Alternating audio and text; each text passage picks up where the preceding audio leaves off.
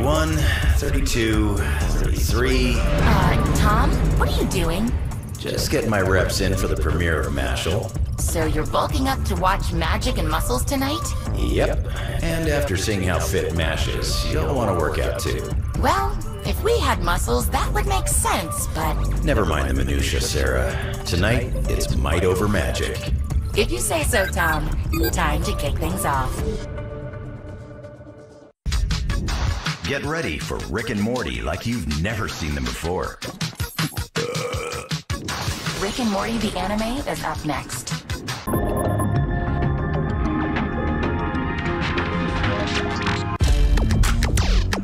I'm not just gonna let you hit me.